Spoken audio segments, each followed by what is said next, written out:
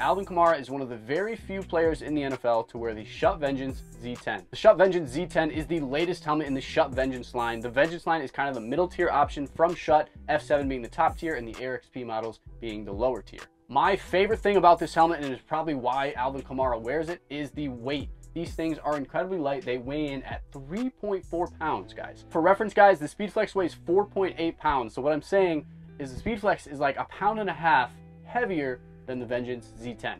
Also, I really love the sharp look of the Schutt Vengeance Z10, and I think the fact that Kamara wears it as one of the swaggiest guys in the league just makes it look that much better. If you guys are interested in getting your own Schutt Vengeance Z10, they're about $450 on Schutt's website.